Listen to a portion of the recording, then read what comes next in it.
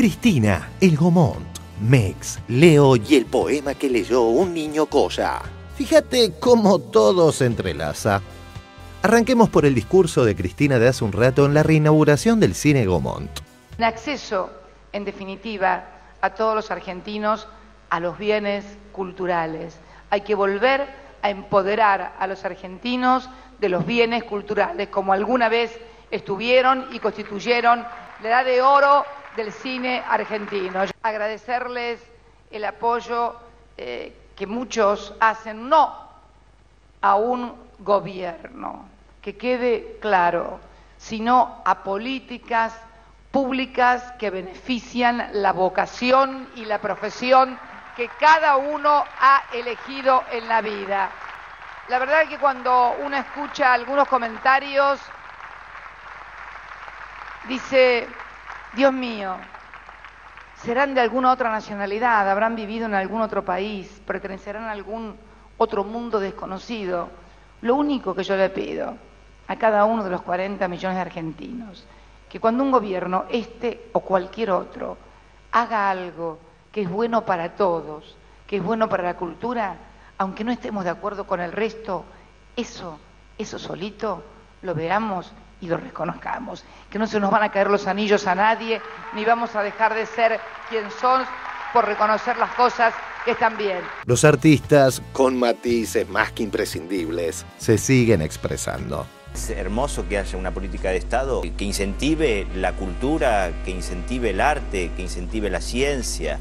Digo, eh, si eso, si eso es lo que está en cuestionamiento, es absurdo. En relación al Inca, todo el cine del mundo tiene, está subvencionado. No creo haber hecho nunca una película que no tuviera un crédito del instituto, porque no se banca, sino no podés pelear contra el otro cine si no inicia así, y por eso muchos los actores, así como músicos, artistas que han apoyado las políticas del, gobierno, entonces me parece que eso los desorienta mucho. Yo, que ellos no pueden entender que, que mucha gente haya, haya salido públicamente a apoyar al gobierno y vos haces un paralelo entre Maradona, Ginóbili, la cantidad de actores, Nancy Pablo, este, Lupi, eh, digo, empezás a buscar y decís, vos podés juntar un elenco que sea paralelo a ese en otro país apoyando un gobierno. No hay manera de pagarlo eso. Reclamábamos acá, decíamos que nos gustaba que los actores salgan a hablar sobre el informe de la nata y el subsidio del Estado, de toda la sociedad argentina a la producción audiovisual. ¿Vos, ¿Vos como actor tenés alguna posición? Eh, sí, es todo un show ese tema, esta cuestión de subvencionar artistas o poder darle un crédito para una película de toda la vida. Mismo se le han dado créditos a un documental que hacía La Nata. Lo que pasa es que, bueno, gracias a este programa, gracias a la ley de medios, a que existe 678, se empezó a ver un poco cómo era todo. Antiguamente uno agarraba un diario y creía realmente lo que decía un diario. ¿No? Y no había nada que lo refute. Nada que lo refute. Nadie se podía imaginar que atrás de un diario había una intención de manipular y de manejar el asunto para su conveniencia económica. O un interés político. Pero económico. El poder económico. Hoy, gracias a Dios, se sabe quiénes son todos. Se sabe todo, todo el mundo sabe, aunque siga poniendo el titular que esto, esto, sabe que está haciendo para un negocio que le, le interesa a él y al grupo que le interesa a, eh, a ese diario. Lo sabe todo el mundo, cada vez más. Es cada vez está muy transparente todo, ¿no? Pero claro, entonces que la nata diga y ponga, y es parte del asunto. Qué sé yo, que saque dinero de todo esto, la nata, y, y es un hombre muy vanidoso que está feliz ahí mostrándose y ganarle al fútbol y qué sé yo, y, y decide, hace un show, y no le importa que lo que diga después, ustedes todo el tiempo muestran que dice disparates que no son comprobables. No Hay que tener huevo para hacer lo que hiciste vos. Y casualmente hay una frase que me gusta mucho que vos decís es, le tocaron las bolas al monstruo. Dijiste eso una vez, ¿no? Ah, sí, el culo de la bestia. Fue un momento histórico, porque es muy difícil tocarle el culo a la bestia. Eso es lo más maravilloso. Yo nunca, nunca pensé que iba a pasar esto en este país. Nunca. La metáfora es fuerte, le tocaron las bolas al monstruo, ¿no? Pero nunca, nunca pensaba. ¿Quién puede estar de acuerdo con un monopolio de algo? De lo que sea. Claro es la opinión pública, el manejo de la opinión pública tiene un valor inmenso. Si no dan plata a los diarios, no es un negocio en sí mismo, los medios, lo que sea, es un, es un poder increíble. ¿Vos no tenés miedo de asumir estas posiciones? Porque capaz que te ¿De qué? Y digo, capaz que te descubre una, caja de ahorro en el Banco Suquía, una cosa... que no declaraste alguna No tengo. Pero no, no, la verdad es que es. Es.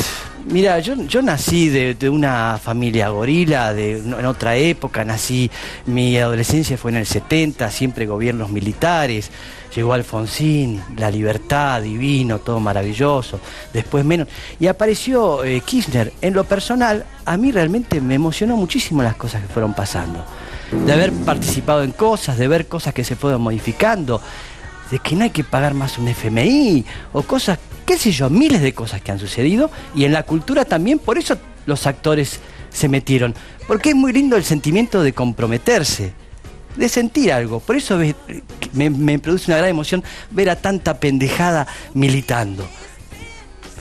En serio, me emociona ver la plaza lleno de pibes. Eso no existía. Decir que alguien hacía política era mala palabra, era algo malo.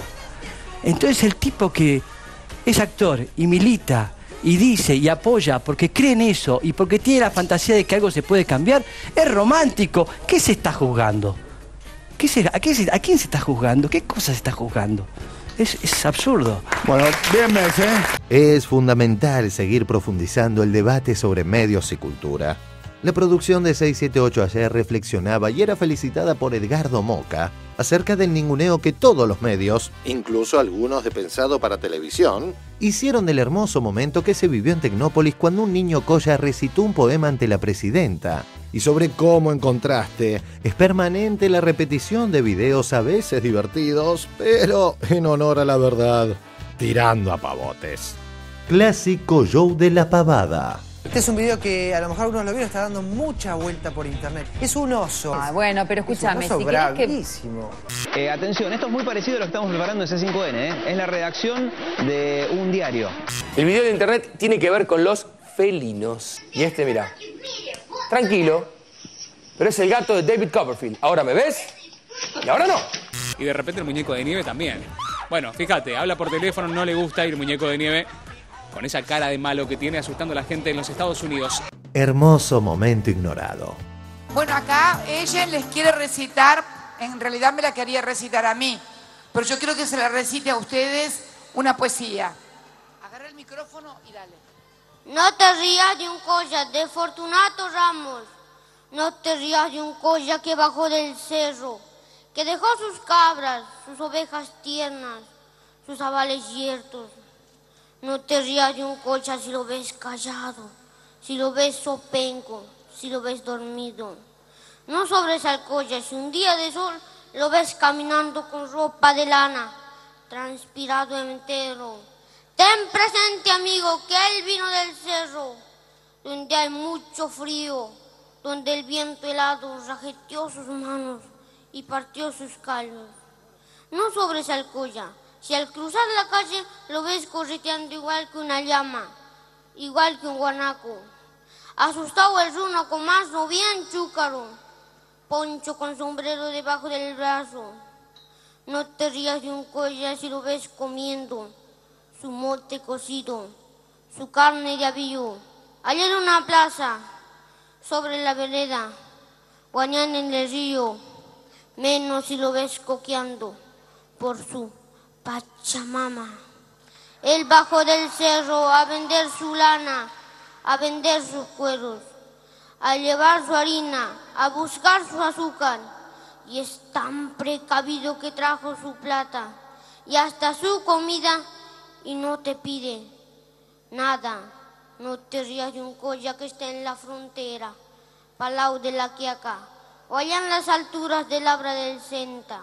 Ten presente, amigo, que él será el primero en parar las patas cuando alguien se atreva a violar la patria. No te rías de un si, si vas para el cerro, te abrirá las puertas de su triste casa, te dará su chicha, te dará su poncho, y junto a sus guaguas comerás un tulpo, y a cambio de nada. No te rías de un colla que busca el silencio, que en medio de las lajas cultiva sus habas, en las montañas donde no hay nada, así sobrevive con su Pachamama. Gracias.